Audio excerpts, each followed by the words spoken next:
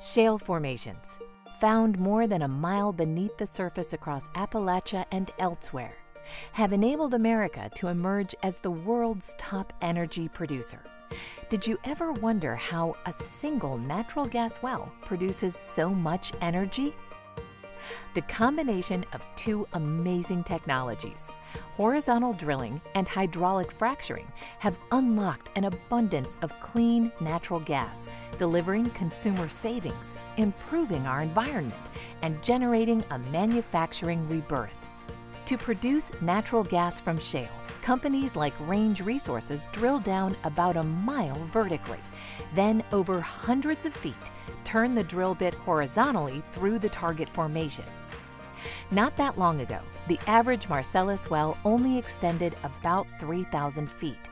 Through innovation, experience, and the development of cutting edge technologies, Range is now drilling laterals that extend more than 18,000 feet, or more than three miles.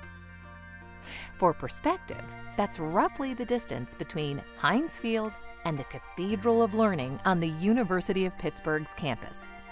These modern technologies allow Range to safely develop energy across thousands of acres from a single surface location, which represents a small surface disturbance of just a fraction of a percent of the total land we need to develop the natural resources.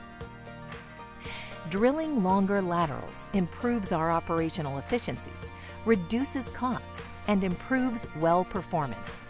This is one of the many ways Range is working hard to ensure we improve the communities where we're privileged to operate while protecting and keeping our environment safe.